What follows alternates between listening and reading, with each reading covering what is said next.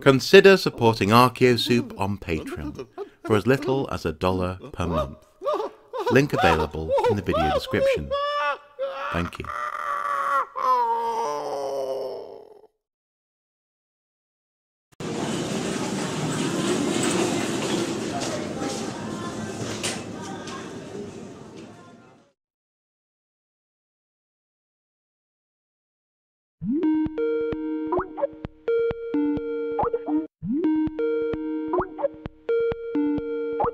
Hello, Christian. Hello, Mark. Hello, good morning. It's been a it's been a, an interesting setup this morning, getting uh, getting to grips with with Zoom, but, uh, Yeah. but but we made it in the end, which is the important thing. And um, I've invited you to have a bit of a chat this morning. Incidentally, you're welcome.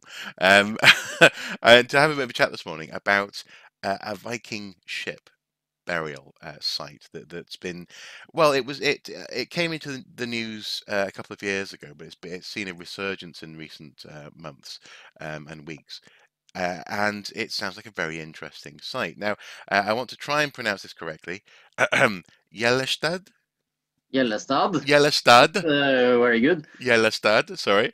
And I'm curious as to how not only this, this ship burial came about in terms of its discovery and, and, and what we know of the site, but also how it fits in with, with the broader growing sense of of uh, period sites. Now, uh, without any further ado, uh, could you possibly just introduce yourself, uh, where it is that you work, and and how on earth this this Viking ship burial came to be known to modern people? yeah, I can do that. Uh, my name is Christian Løchsen Rødsrud. I work at the Museum of Cultural History in uh, Oslo. It's a part of the University of Oslo. hmm And uh, uh, there I'm uh, working as an advisor. I do a lot of planning of uh, archaeological excavations and uh, I do participate in excavations myself as well. Um, and uh, last year we made a trial excavation of this Viking ship that you mentioned, which uh, was found or discovered back in 2018. And uh, what led it was an accidental discovery in a way, actually. Uh, what led to it was that uh, the farmer at Gjellestad uh, he applied for an uh, for uh, draining the field county archaeologists who started uh, to do a geophysical survey in collaboration with some institute called the Norwegian, uh, called NIKU, Norwegian Institute for uh, Cultural Her- Heritage. Uh, and uh, they um, made a geophysical survey of the field and found a whole lot of finds. No, I've seen I've seen an image of the survey, and uh, I couldn't help but compare it to the Eye of Sauron. It, it had quite a dramatic sort of cat's eye kind of look going on. But uh, but was so was that uh, at that stage was that uh, enough to make it such that the field was no longer suitable for just draining, in so much as presumably wooden remains or potential wooden remains would be vulnerable uh, to sudden loss of water. Yeah, well, uh, at least to the farmer, he thinks it's too wet. Uh, and uh, when we went uh, about trial uh, excavations uh, last year, it, I must say, it wasn't that wet. And had it been wetter, it would have been better for the preservation.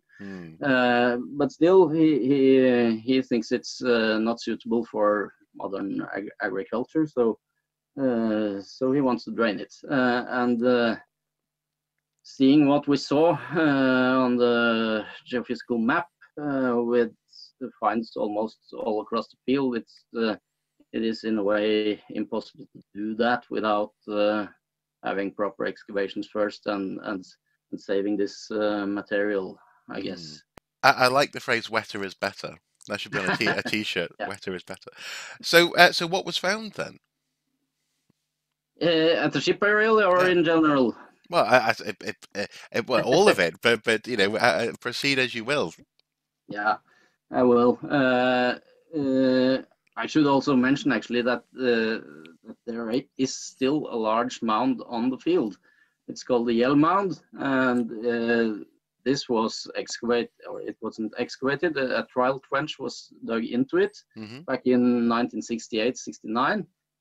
And uh, this is the next largest grave mound in Norway, uh, one of the largest in uh, in Northern Europe, actually. hmm Some, some 80 di- meters in diameter, Wow. uh, so it's quite large. Uh, um, the archeolog- archaeologist uh, doing this excavation, called uh, Erling Johansen, he believed this was to be a ship mound, hmm which it proved not to be. No, no, What we found in his trench was a central cairn, and uh, below that some uh, some small fragments of bone, and uh, and I think he found a bead. Uh, of course, this is just a small trench. Uh, there can't be much left in there, but he made some uh, some datings, uh, and it's this mound was built in the migration period, somewhere around 450 to 600 AD. So presumably then all of these other the smaller mounds and and the ship burial were sort of drawn to the site by this focal point. Is that is that is that what people Yeah, is that what the presumption is or I, I would believe so. Mhm. Uh, I uh, we, I shouldn't say that this large mound was even the first thing that we uh, that wa- was established on this field. Uh, probably goes even way back Mhm. before that. Mhm. Uh, there has been um, a lot of metal detecting going on at the field, and uh, we have finds from almost all periods of the Iron Age in Norway. Right. Uh, so one of the most uh, finest finds, I'd say, it's a little gold pendant with the uh, made by filigree technique, uh, and it's uh, it should be uh, what it, it- should be the Norwegian period, uh, the Roman Iron Age of Norway. That would be somewhere around three to four hundred, I believe. This uh, pendant was made, and this this could also come from one of these uh, overplowed mounds. Mhm. So my guess is uh, that we have a quite uh, large area. We have buildings, uh, we have grave mounds, and when this Viking ship mound is established, it's establishing into a a, a context a context that is al- already there. Mm. Uh, so it's it, it connects to these older monuments. And are, are these buildings likely to be lived in, or are they more likely to be sort of mortuary houses? yeah, we did the the, the trial excavations, uh, looked into that, and uh, and we opened up trenches to look at some of the post holes and get datings, and uh, uh, and we now know that the, the buildings are uh, from the early Iron Age. They are before the ship mound. Right. Uh, so it must have been uh, both a settlement, uh, maybe a grave um, field uh, is established next to the to the to this settlement, and uh, uh, and these mounts would of course be uh, very visible uh, for travelers uh, in the area. It's we are both for land travel and sea travel, I, I'd say. hmm Uh, we are some uh, we are about nine meters above sea level and uh, if you raise the sea level uh, to four and a half meters uh, with which would be correct in the in the Viking Age more or less uh, we are almost shorebound Right. uh, so very visible for travelers of all kinds um, uh, and a, and a remarkable place I'd say Mm. uh, a powerful site in the in this landscape. And so, how, how before I suppose before we, we explore and examine what what specifically was going on in, in, in the in the ship that so far that has been established, how should people imagine this site then? Is it is it a place that has, as you say, a long history, lots of lumps and bumps, people probably living there and lots of activity? Is it? But is is it akin to a I, I'm, I'm, I don't know, like a Lourdes, a Lourdes, or what you know, like a, essentially a, a place of pilgrimage where people go uh, and are passing by, or is it more like a settlement where there's trading going on and there happens to be a big cemetery nearby? Uh, if- h- h- how do you, how do at the moment, how do people, uh, how should people think that people Yeah, I felt I- it? I think it must have de- developed over time, uh, and uh, maybe from uh, from the first settler in the early Iron Age. Uh, they made their houses, they started establishing mounds, uh, and maybe this was quite a central area. Uh, so they developed quite much power in the in the local community, and maybe maybe broadening that uh, over the years. Uh, and when they build this tremendously huge mound in the migration periods, they must be very powerful. Uh, so it's a symbolic uh, monument in the landscape. Yeah. Uh, so power relations uh, really established. Uh, then we come, then the uh, settlement seems to, I don't know. Maybe maybe we just don't see it, but it seems that there is no settlement in the Viking Age the houses uh, houses might have moved. Uh, mm-hmm. It might be nearby, so so it's difficult to tell. But what we know is that there are a lot of uh, finds uh, um, immediately south of these uh, mounds. Um, uh, it's a farm called Hjelmongen, and metal detecting has proved a lot of finds of weights and coins. Right. Uh, probably indicating uh, trade and mm -hmm. production maybe. It must have been a very central activity area. Yeah, yeah, and I suppose it makes sense that even if their settlement had dwindled somewhat by uh, the Viking Age, uh, there would have been a sense of well, we'll meet at the mound and do trading, or maybe someone, someone, an individual or a couple of people moved there, and they could catch passing ships and trade, perhaps. Uh, that's yeah. yeah, that sounds that's it's interesting. Um, so why then, given the this this this established history in the landscape, and then this sort of trading post, why would then someone want to have a, a ship burial there?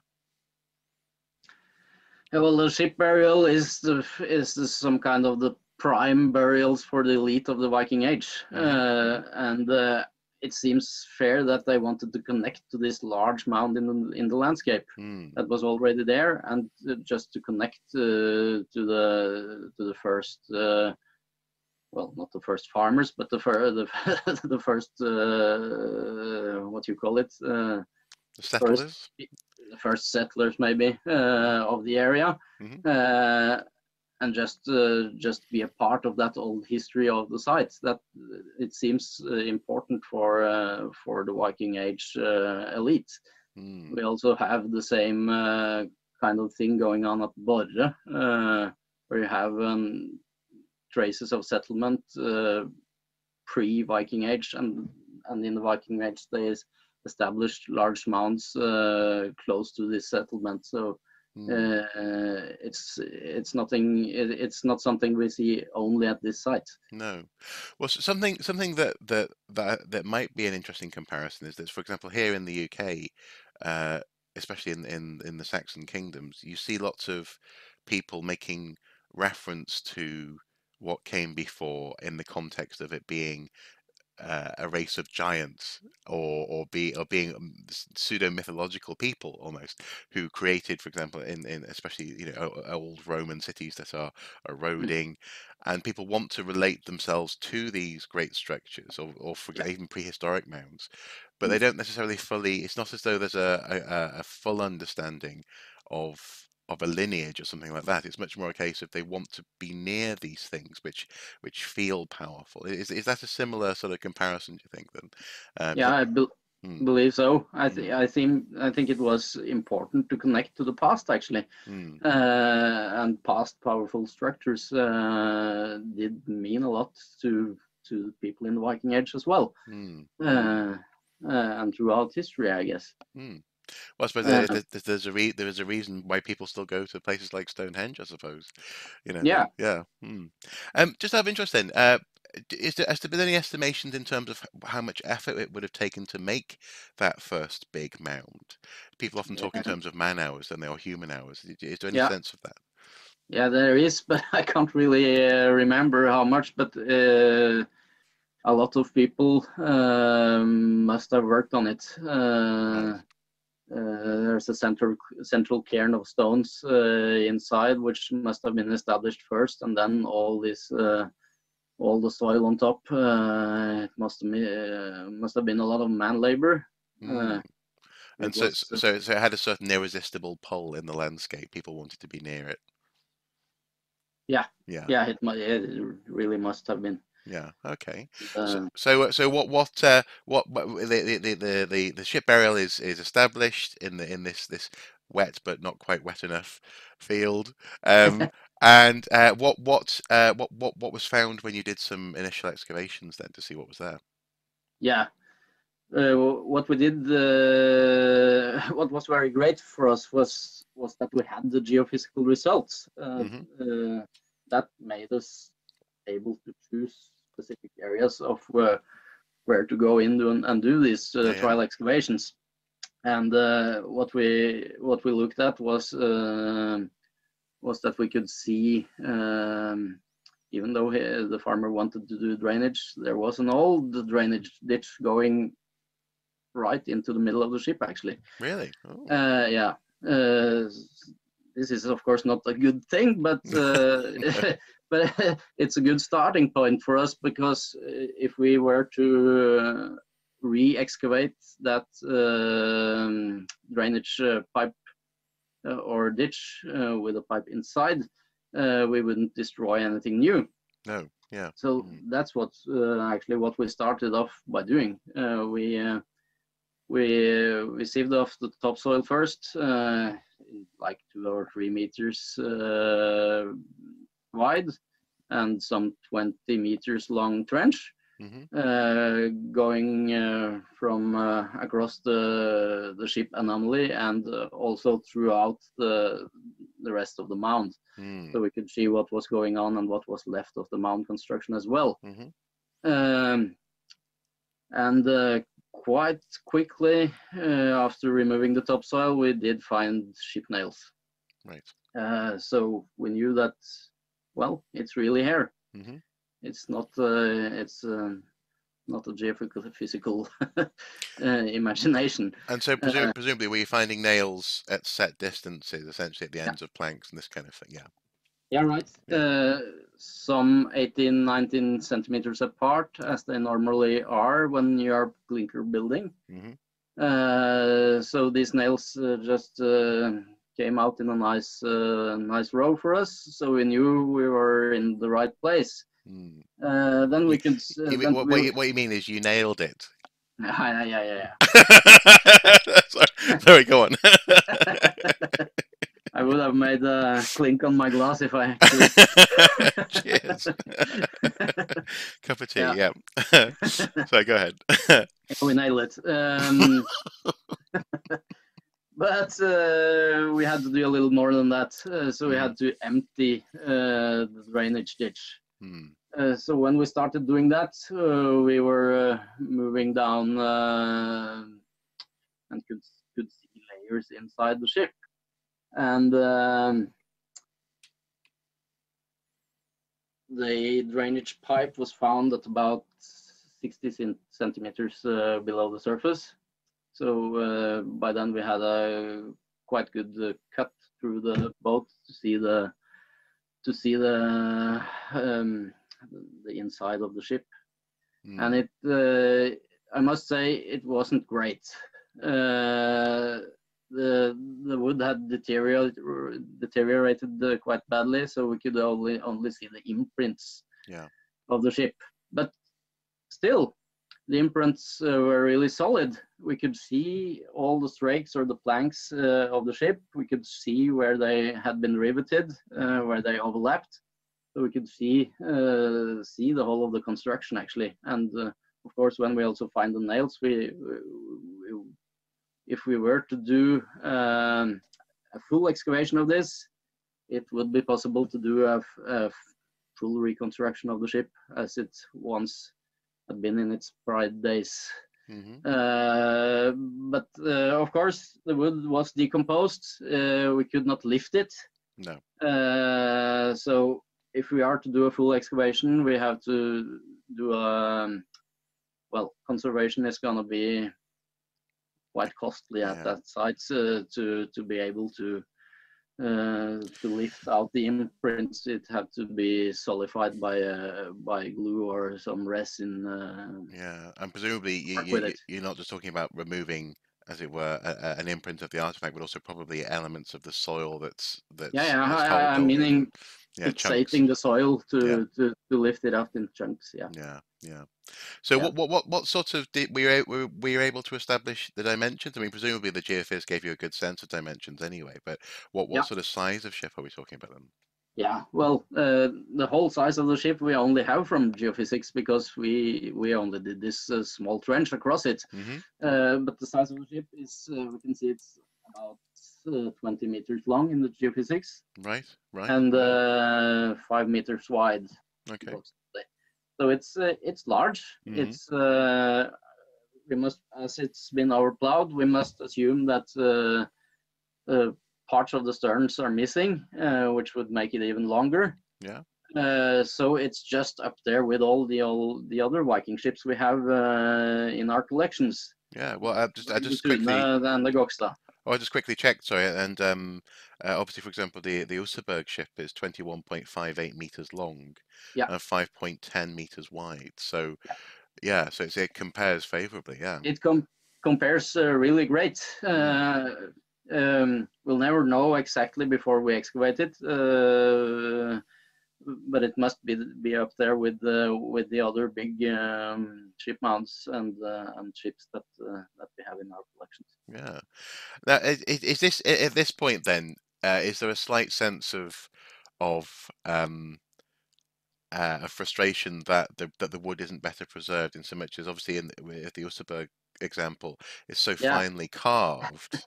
Uh, that, that I mean, is there any indication that this boat was made to that sort of standard? This ship, sorry, was made to that sort of standard or not? Well, uh, that is difficult to say from excavating uh, like uh, 20 centimeters uh, wide trench, but Yeah, but uh, but it, of course it could have been. Yeah. uh, uh, from the ships we have, uh, only Oseberg is that finely carved. Uh, Mhm. the Gokstad is more of a more of a workhorse maybe, but uh, but it's still a really nice ship. Mhm. Uh, and I guess uh, Gjellestad must be too. Mm. Um, of course, the preservative conditions aren't uh, as great as in the Oseberg and Gokstad. Uh, this ship was dug into uh, silt, uh, some sands at the top maybe, uh, Mhm. while the Oseberg, of course, uh, is preserved in in play. Yeah.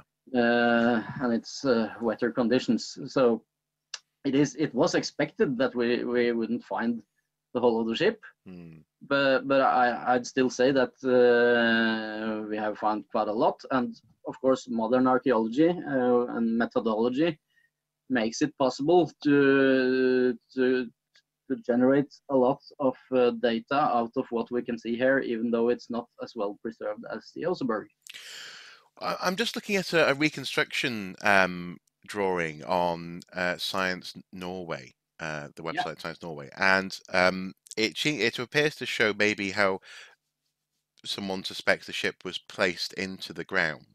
It's Mhm. almost like it's been rolled up, and then the silt is being brought around it. And at Yeah. this at this point, as the silt is coming into the ship, the mast is still upright. And this is something which I've never really considered f- uh, Yeah. properly. Is should should should we think of these mounds as having at some point a ship inside with a mast marking the mound almost? Because there are Yeah. there are comparisons to be made, for example, in Iron Age. Uh, Yorkshire, where it seems as though burials were made whereby spears were stuck into, possibly even the corpse itself, Yeah. and these spears would have rotted over time, almost like a hedgehog. Should we imagine? should we imagine um, uh, a mound with a with a mast sticking up, or would that mast be taken down? Do you think? Uh, well, we could imagine anything be- because we can't really see it, but uh, but I, I, I would uh, probably believe that it was taken down, uh, but it but placed inside the ship. But uh, we couldn't possibly know. Uh, I think the mast sticking high up, it wouldn't be preserved uh, at least at this uh, in this mount. no. Um, but I, I, w- I wouldn't say it's impossible. hmm Uh, but if you were to build the mound with a mast sticking up, it's uh, you're going to build uh, really high as well. Yeah. Well, well, and, and and the thing is, I- I'm not necessarily suggesting that you would have to cover the mast, but rather that that you would I allow the see mast. what you mean. If you see what I mean, Yeah. yeah. Um, uh, uh, but uh, sorry, just the thought just occurred to me when I saw the image. It's, Yeah, yeah, it's. A, it's a lovely reconstruction. even though the uh, wood was very decayed, uh, uh, the strakes and the or the planks of the and the hull of the ship was very decayed. Uh huh. We we could in the geophysical um, photos uh, see uh, some a line in the central part of the ship that Mm. indicated that maybe this was better preserved. And as we had removed the uh, drainage pipe, uh, we could see that uh, the the, um, the wooden remains of the ship they become became more preserved beneath it. Of course, the drainage would have allowed the oxygen inside the mound, uh, deteriorating the situation. Yeah. Uh, but we still couldn't see the keel. Uh, so, so the keel uh, was the keel essentially below the water level still. the, the, the, keel was at least below the Water drainage table. pipe. Yeah. Okay. Yeah. Um, the drainage pipe had uh, sunk the water table, so uh, um, or or, or um, That's uh, that's what you do with the ship, isn't it? I think this one Um, definitely would sink if you tried to sail it again. Um, but but um, so we had to to go on excavating. That's Uh-huh. that's that is where I'm coming to. Um, and uh, we did actually find the keel, and the keel was more preserved than the rest of the ship. right. It was actually um a, a good chunk of wood, uh, and we were able to sample it hmm and lift it out. So, th- so this was actually preserved, uh, and this is uh, this was very important because then we could uh, say something about the, the condition of the site. Uh, because we had a specialist analyze it, and uh, she could clearly see that it was deteriorating um, as we speak. It uh, it was attacked by soft rot Right. from all angles. Uh, so, but bacteria are working um, on on the keel. And was that happening? Is that is that happening in the ground now? That's That not- is happening in the ground as we speak. Right. Yes. Okay. Um, and uh, well, the the keel was uh, soft and uh, the surface, hmm but the center of it, uh, it was uh, quite well preserved wood. Yeah. Uh, but as we saw from the the strakes, uh, they had uh, almost uh, been eaten up, and uh, this is of course um, happening with the keel as well. The cell walls are slowly being consumed by bacteria. Yeah. Uh, so we have an urgent situation, and we need to excavate it before it's all gone hmm hmm uh, we were able to sample it and and uh, and by that also uh, do some dendrochronology to establish the date uh, of this ship. And um, it's not uh, well the keel is 100% certainly uh, dated but it would be an even more precise date if we would be able to do some strakes or planks as well hmm uh, so this dendrochronology is just uh, solely based on the keel. And the keel uh, had been part of a tree that had had grown from 603 until 724, Wow. which is quite uh, early um, early dates. But Uh-huh. this is uh, but it's important uh, to say that this is not the date of the ship, uh, because um, uh, the earliest uh, date for the felling of the tree uh, would from that be around 733, hmm uh, which is actually pre-Viking Age. Yeah. Uh huh. Um, but uh, but then it must be stressed that uh, that we don't have the surface of the wood. We don't. If we would have the bark, we would be uh, sure of uh, when the felling was. Uh, but we had uh, some more than 120 uh, growth rings, and by removing just um, a centimeter uh, or or, or um, or uh, or two. It could be like a hundred years. So Yeah. from that, uh, I would say that the dating is probably within the beginning of the Viking Age, somewhere from around the late 700s, uh, somewhere until uh, 900 AD would be the the most correct date frame to give to this. Right.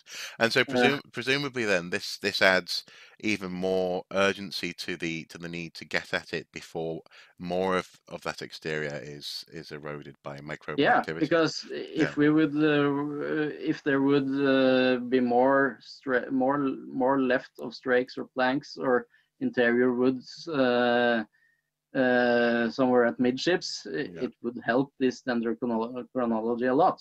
Hmm hmm Um, but well, uh, but there was uh, one more important thing that came out of this uh, dendrochronological uh-huh. analysis, and that was the provenance of the find. Uh, because when you do dendrochronology, you compare it, of course. They were built somewhere uh, in western Norway, actually, or southwestern Norway. Uh, we know that uh, the Oseberg and the and the Gokstad uh, small boats uh, were built uh, in the western part of Norway. So um, it indicates that the Gjellestad ship also was built uh, somewhere in this uh, western part of Norway and not uh, within the Oslo fjord Right. Right. where it was buried. Right. Uh, presumably, though, it's going to be really hard to be to be more specific than that. In so much as, you know, in very rare situations, say with pottery, you can talk about pots coming from a particular place, you know, particular Yeah. town. Even some in some cases, you know, fingerprints have been matched in terms of potters.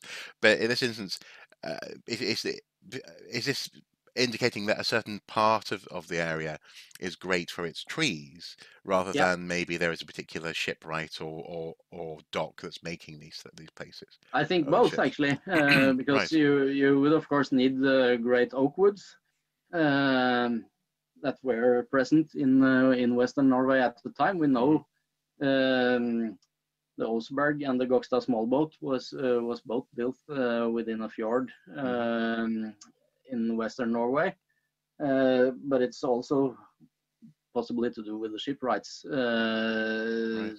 They were probably specialists over there. Um, but then again, the Tune ship was built uh, in the Oslo Fjord, with wood at least coming from the Oslo Fjord area. So um, we have to we have to do more dendrochronology uh, to come more come to a more precise conclusion on uh, on the on the the provenance uh, on the exact on the exact place of provenance. But Mhm, uh, mhm.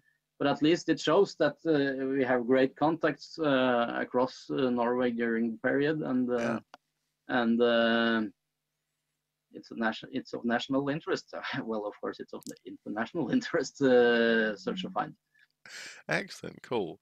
I, I love the idea of uh, of people almost like in a a- you know if you imagine ships at a um at a junction, eh, as if they'd be at a junction. Yeah, So they're waiting, and they're looking over and going, "Oh, my ship's from uh, from you know Sven. He made this one. like Yeah. this one's a special ship. Um, oh yeah, oh yeah, he's very famous. Yeah, very well known. Well done." And then the people go, "We need to get one of those. It can't be showed up." Um, sorry, I've gone off of a slight tangent there, but yeah, eh, that that that, that, that that's that's that's a wonderful uh, a wonderful, if nothing else, the materials. It's a wonderful connection there, uh, and and if if, if I guess an, if an establishment could be made in terms of um, uh, construction uh, similarities as well, that would be even more impressive. Yeah. Definitely. Yeah, uh, absolutely. it would. What what sort of details um, were there? Sorry, were there any uh, other details that came from the kill? For example, could you can see could you see construction methodology and you know the- presumably the use of axes, this kind of thing? Was there any any of those sorts Yeah, of well, the surface uh, the surface wasn't very well preserved, so uh, axe uh, working was not possible to see. But but we were able to find some interesting uh, features still.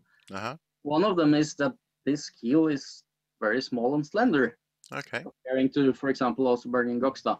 Mhm. Uh, it's maybe more like the Tune ship. Um, what this means, we have to excavate more to say for sure, but it it could be it could mean uh, that it doesn't have uh, this very solid uh, keel for sailing. maybe it's a rowing ship, but that is uh, that is way too early to say or to Mhm. conclude. But it's it's a theory. Um, So are, are you? Is that sort of a, essentially a comment on on potentially potentially uh, its ability to cross, for example, an ocean compared to say just sticking to the coastline? Or oh, it's a uh, yeah. No, I'm not sure that's uh, that's important, but it's uh, because they were rowing the Viking ships Mhm, as well as uh, sailing them. mhm. Um, but this ship might be primarily for rowing, but uh, I suppose it uh, could have a sail as well. But Okay. we won't uh, we won't find out until we we come across the midsection of the ship where we Mhm. could see if there is actually the remains of a mast. Oh, I see. So this, this drawing with a mast, it's lying to me already. but no, I see what you mean. Yes, okay, yeah, and and and and, and so um, uh, is, there, is, is does that have a, a any known implications then in terms of the way that that, that the particular ship might have been used or perceived then, sail sailing versus rowing? Is there is there a, a, a, you know a workaday trade implication? Is it more of a, a, sort of a, uh, a leisure cruise kind of scenario? What uh, does it have any implications? Um, yeah, well, that would uh, be easier to say if we excavate more. But uh, what it clearly says is that uh, none of these ships are alike.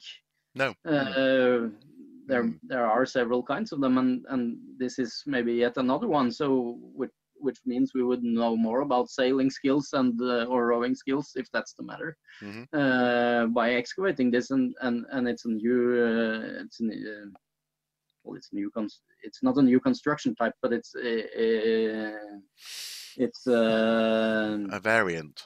it's a Mm. variant, yeah. Mm, yeah. Okay. Mm. Interesting.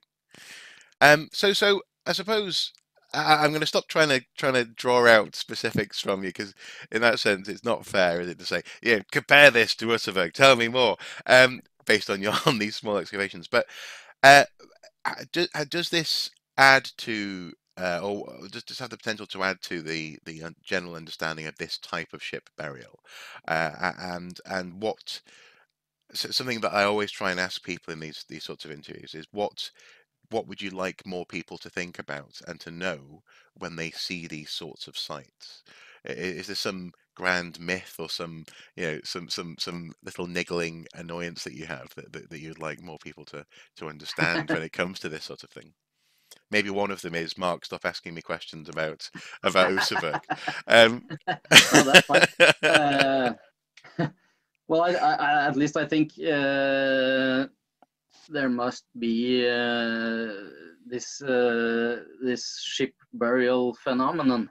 hmm, It must have been uh, uh, more wide-ranging that than we have appreciated uh, earlier on. Uh, you know, the last time we excavated the ship burial was back in 1904-05 with the Oseberg. So it's hmm, quite a long time ago, and we were thinking that there weren't any more ship mounts, maybe. But Mhm. uh, but now with the modern technology, they uh, they start appearing, uh, and this is not the first one. They they have found one in uh, Western Norway as well uh, uh, lately. Uh, less preserved and, and a bit smaller than the than the Gjellestad, but but still. But yeah, Gjellestad is is one of the large one, and, and it has a really national uh, interest. mhm, It's mhm. part of this uh, ship burial complex, Um and that's uh, that's something that we need to work more on. Uh, um, there are more sites than we know, and uh, and accompanying this uh, these uh, important power uh, sites or or um, or central sites uh, are these great grave mounds and uh, and as I as we previously talked previously talked about uh, the trade sites could also connect to these to these great mounds.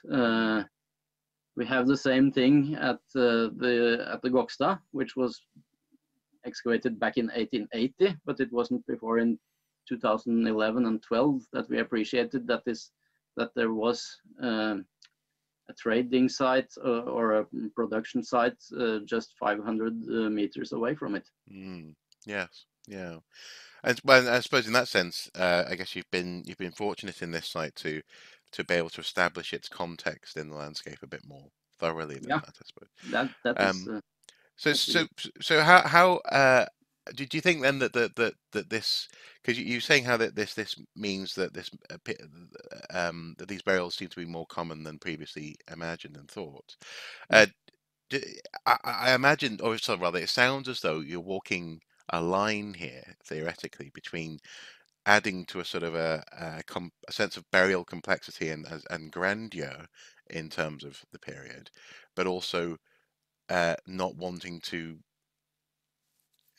not wanting to sort of to to to, to imagine that this was common yet. If something, so, not so, not at le- not at all common, I think, yeah, uh, because uh, this is really an elite thing. You mm, wouldn't bury a ship. No, only special persons uh, could afford burying a whole ship. yeah. Well, it, it So takes it, effort. Yeah. it Mm, takes a lot of effort and it takes a lot of uh, of uh, economical uh, power to be to be able to just uh, uh, offer so much. yeah. And and sh- sh- but and and, and I suppose one one one more question then related to that is, uh, presumably, is the is the running theory at the moment that this is an individual's burial? Um, so far they seem to be for Yeah, for particular yeah. people, don't they? You know, our little trench didn't uh, we, we we didn't find uh, the individual buried, of course. Uh, so No. this this could um, this could very well be one person, but as we know from the Oseberg, there were two women. hmm Uh, the Gokstad had one man. Um, so it's, I would say it's quite open. Uh, the bad thing is that uh, this mound has been overplowed, Right. uh, possibly um, removing some important artifacts. hmm Uh, but I believe that the chance of finding a lot of artifacts, a lot of uh, imprints from uh, other wooden features and also objects inside the ship, they are there. Uh, I think it's a rich find. And Uh, well, and, and, and so is, is that is that what's next for this site then? what we want to do is, uh, based on what we know of the preservative condition, is that we must uh, excavate it Mm. because uh, it's deteriorating every year and it's uh, we don't really know how quickly but uh, but uh, i'm supposing that the situation is getting worse every year we wait Right. so Yeah. we have um, we have approached the government uh, to get funding uh, but you know the days uh, we are in are uncertain because Yeah. of the virus. Yes. No. Exactly. Yeah. Yeah. Yeah. So I don't know how that uh, will end up yet. Okay. Uh, how does the farmer feel about it? The farmer feels uh, he's a very nice guy actually, and he's very interesting in the archaeology. Uh, I suppose he wants to do the drainage and get back to working his field, Uh huh. but but still he's uh, he's um, he's very positive. He's waiting, and uh, I think now it's uh, keep an eye on the site. Uh, let's hope the funding comes uh, as quickly as possible so that we're able to save the remains of it. Uh, it's important for both research and the dissemination of the Viking Age. Okay. Cool. Well, thank you. Thank you. That's, that's that was a, that's a very very earnest thought at the end there, and also crucially, well, and the thing is, crucially, this is actually a crucial element of uh, the you know, as much as public uh, access and, and archaeology is is a wonderful thing. There is uh, something to be said for responsible approaches to sites like this, where where it Yeah. is you know it is someone's land and there's a delicate uh, uh, decomposition process going on, and as you say, there's a funding issue and also you know a, a global pandemic. You know these small things that are happening at the moment. Um, there the- are some things happening that uh, makes the future a bit uh, uncertain absolutely well th- th- thank you for your time this morning um uh, i suppose uh, finally um uh, is there uh is there anything that um um that that that we should uh look out for? For example, did, is there a is there a, a, uh, a university Facebook page or something that, that perhaps people could link to? And also, crucially, if something exciting happens with this project, can we have a chat Yeah. again in the future so so I can ask you questions that you can actually answer instead of Of course. we can uh, surely chat again if if it comes to an excavation. Uh, it's possible that it would happen this year, but uh, but I don't know. But but uh, certainly in a few years, uh, I'd hope so. Mhm. Uh, not too many, and uh, the web page to visit would probably be gjellestadstory.com. excellent. I don't know if you've looked into it. It's it's a, it's a reconstruction uh, page. Yes, no, I, I, I I've got it up here on my uh, my laptop here. Excellent, Yeah, yeah, yeah. Cool. Okay, so so I'll link to that below in the video information so people can. That can you that do. out. Yeah. Grand. Um. Well, once more, thank you this, for your time this morning, and I suppose that's it for now. Um. As ever, guys. Until next time, do take care at home. Bye bye. Bye bye.